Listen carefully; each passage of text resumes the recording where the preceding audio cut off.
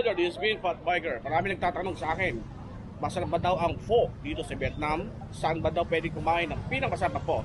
So samahan niyo ako, kakain tayo sa lagi kong pinupuntahan ng pho o yung Vietnamese noodles. Okay? Let's get it on, guys.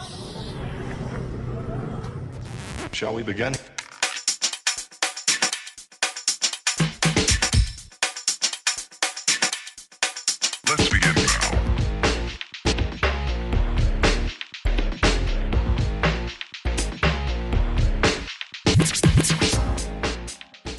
Puntahan ko ang Pho 24. Ito sa pinakamasarap na pho or Vietnamese noodles.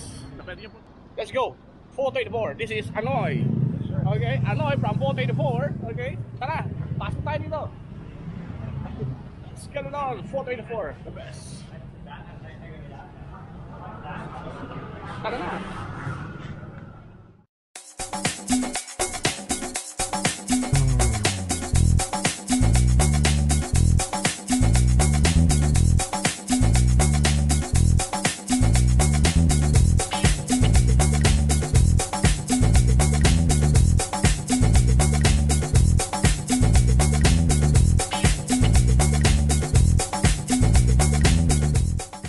Guys, good evening. It's dinner time. So we're here now. Uh, sa isa sa mga pinakamasarap na pho.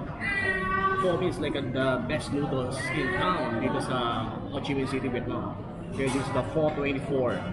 Okay, as you can see. So we're now just waiting for our pho and join me in uh, to eat. And I'll show to you how to eat pho in Vietnam style. Okay, let's get it on, guys.